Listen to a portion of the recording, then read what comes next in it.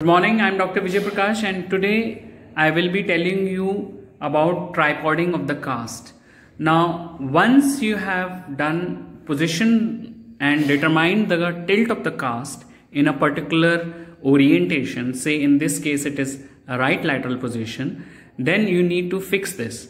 And we need to then tripod this cast so that we can reposition this cast on the surveyor table and uh, we don't lose this position again. So tripoding is basically a procedure in which we make marks uh, on the cast in a single plane which is perpendicular to the surveying rod and which assist in repositioning the cast on a surveyor again.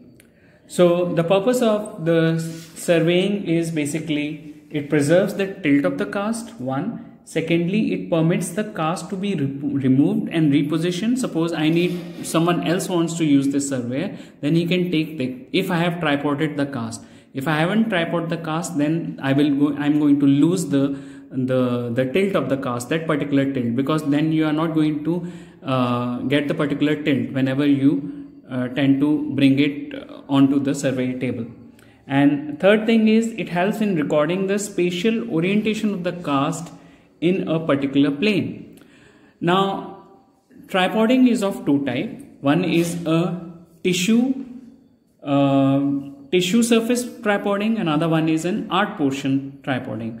Now, tissue portion, tissue surface tripoding is basically on the anatomical cast, which you see here, you make three spatial widely spread out points. You select that on that particular height only. Suppose this is the height of my analyzing rod. I'm going to scribe it with the analyzing rod like this. One, one point. And then I'm going to mark this with my carbon marker. Then at this particular position in the anterior, I'm going to just scribe this here. Two. And in that particular position, I'm going to scribe it here. So I have three widely spaced marks on this in which we can mark it onto the uh, the anatomical portion of the cast.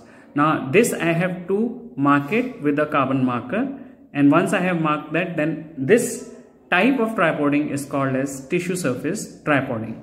There is another form of tripoding that is the art portion tripoding.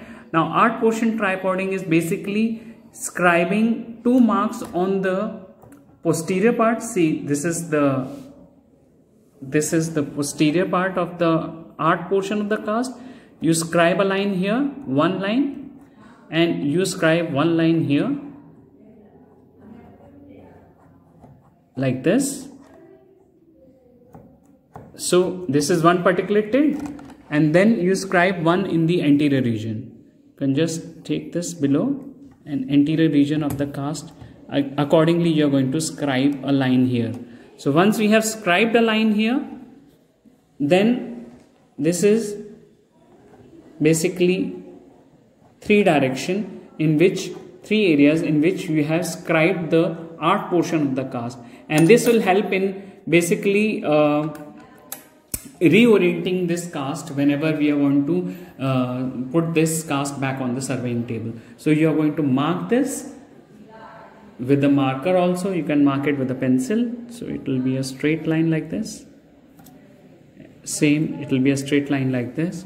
And anteriorly again there will be a straight line here. Samely you have marked three points. One point here one point here and one point here. So you're going to mark it with the carbon marker and your position on the surveying arm and then this will determine those particular tripods on basis of which you can reorient this cast and you can preserve the tilt whatever you have planned. So this is all about uh, tripoding of the cast. Thank you. Thank you for watching the video